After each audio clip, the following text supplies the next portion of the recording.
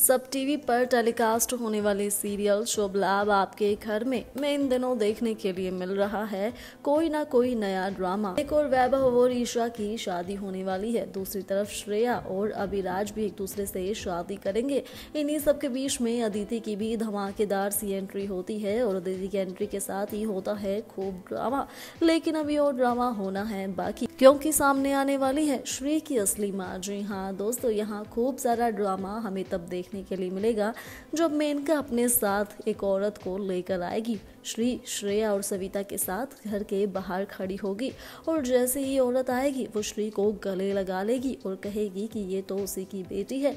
अब ये श्री को अपने साथ लेकर जाने की कोशिश करेगी, लेकिन श्री उस औरत के साथ जाने से कर देगी मना। अब वही जहाँ हमें एक और ये सब देखने के लिए मिलने वाला है तो इन्हीं सब के साथ आप देखेंगे कि माँ लक्ष्मी अब श्री की सारी शक्तियाँ छीनते हुए नज़र आएँगी।